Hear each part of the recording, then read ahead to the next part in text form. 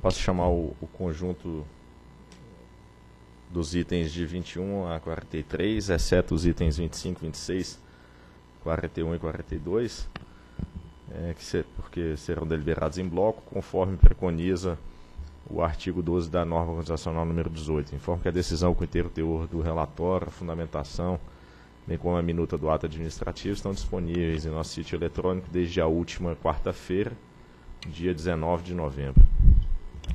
Bem, primeiro, indago se tem algum item a ser destacado do bloco.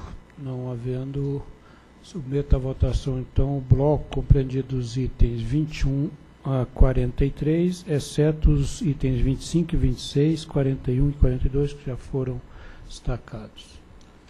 Submeto à votação, portanto, o bloco. Eu voto pela aprovação dos itens relacionados no bloco. Também voto com os itens relacionados no bloco, com exceção daqueles que já foram deliberados. Também voto pela aprovação do bloco. Sendo esses os últimos itens da pauta, declaro então encerrada essa reunião pouco ordinária da diretoria. Boa noite a todos.